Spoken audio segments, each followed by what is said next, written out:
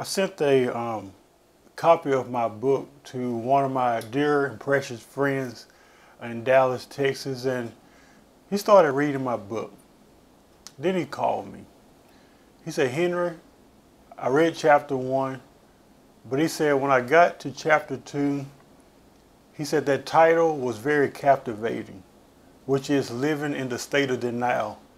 He then proceeded to tell me, he says, man, even at my age till this day, at this present and current moment, I am still having a hard time facing my wounds. I'm still having a rough time uh, dealing with my own pain and my own trauma. He, this man went on to say that Henry, as I continue to read throughout chapter 2, he says, I still struggle with being in denial about the very thing that traumatized me. And that encouraged me because I think so many of us are there today that we feel like that we just cover it up and deny our pain and pretend like we weren't traumatized or that we didn't go through that thing that we are so desperately trying to avoid. We feel like that it'll just heal on its own. So that really touched my heart for my friend to tell me. He says, I love that chapter title, Living in the State of Denial. But he says, most importantly, he says, I'm struggling with that right now in my life.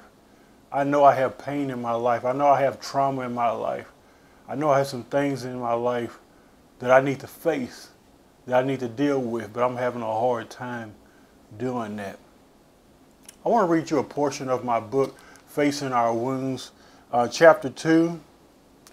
It says, Denial is part of being human. We deny things in an attempt to protect ourselves from the facts we refuse to face, even our wounds.